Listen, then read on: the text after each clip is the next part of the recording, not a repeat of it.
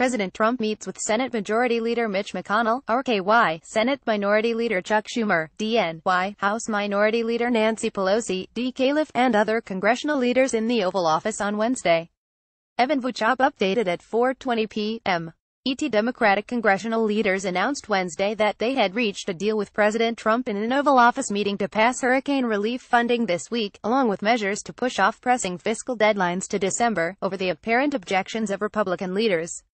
In the meeting, the president and congressional leadership agreed to pass aid for Harvey, an extension of the debt limit, and a continuing resolution both to December 15. All together, House Minority Leader Nancy Pelosi and Senate Minority Leader Chuck Schumer said in a joint statement. Both sides have every intention of avoiding default in December and look forward to working together on the many issues before us. The agreement includes bundling relief for Hurricane Harvey with a three-month continuing resolution that would keep the government funded through December 15, in addition to a three-month fix to raise the debt limit to be passed this week. Senate Majority Leader Mitch McConnell said he will be adding those measures to the hurricane relief measure and will support it on the floor, but in brief remarks to reporters on Wednesday afternoon was clear this was a deal between Democratic leaders and the president. The president agreed with Sen. Schumer and Congresswoman Pelosi to do a three-month CR and a debt ceiling into December, McConnell said. That's what I will be offering. An aide briefed on the meeting said that Republican leaders originally proposed an 18-month hike to the debt ceiling, which would avoid any further confrontations on it past the 2018 midterms, then offered a six-month extension before the president agreed to the Democrats' desired three-month extension. And another source briefed on the meeting told NPR's Susan Davis that Treasury Secretary Steven Mnuchin had also advocated for a longer debt ceiling hike.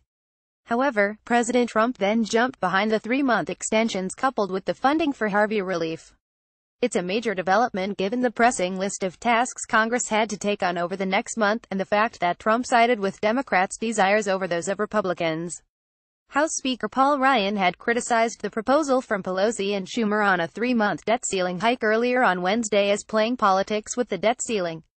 McConnell later suggested that Trump had pushed for the deal because his feeling was that we needed to come together, to not create a picture of divisiveness at a time of genuine national crisis, with Harvey having devastated coastal Texas and Hurricane Irma threatening the Caribbean and Florida. Trump described the meeting to reporters on Air Force One We had a very good meeting with Nancy Pelosi and Chuck Schumer.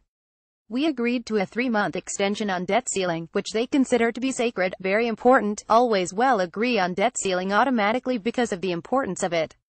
Those comments came while the president was en route to a tax reform event in North Dakota, and he did not mention his own party's congressional leaders. Trump also hinted there could be a deal reached to protect so-called Dreamers, after his administration announced the end to the Deferred Action for Childhood Arrivals DACA program which puts in limbo the fate of 800,000 young people who came to the U.S. illegally as children and now could face the possibility of deportation. We discussed that also today, and Chuck and Nancy would like to see something happen, and so do I, Trump said. And I said if we can get something to happen, we're going to sign it and we're going to make a lot of happy people. Pelosi and Schumer said in their statement that we also made it clear that we strongly believe the DREAM Act must come to the floor and pass as soon as possible and we will not rest until we get this done. During the Obama administration, Congress failed to pass the DREAM Act, which would have provided protections to immigrants who came here illegally as children.